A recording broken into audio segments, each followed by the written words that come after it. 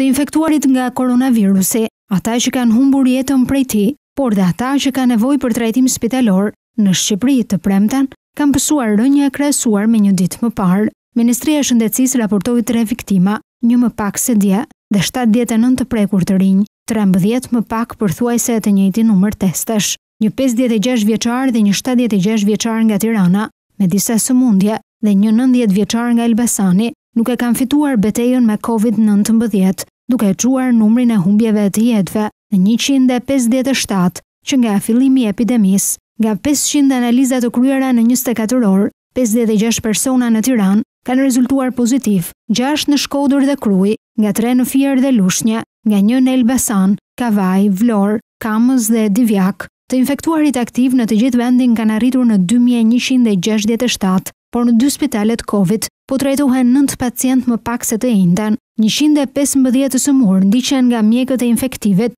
dhe ato të Shefqet Ndroqit, gjashtëmbëdhjetë paraqiten në gjendje më të rëndë dhe janë vendosur në terapi intensive, ndërsa pesë janë intubuar. Rritje krahasuar me një ditë më parë kanë pësuar të shëruarit, gjashtëdhjetë e nëntë persona sipas ministrisë. e kanë fituar betejën me Covid nëntëmbëdhjetë, duke çuar numrin e të shëruarve në dy mijë e nëntëqind e pesëdhjetë e dy nga pesë mijë e dyqind e shtatëdhjetë e gjashtë të prekur nga koronavirusi që nga java e dytë e marsit.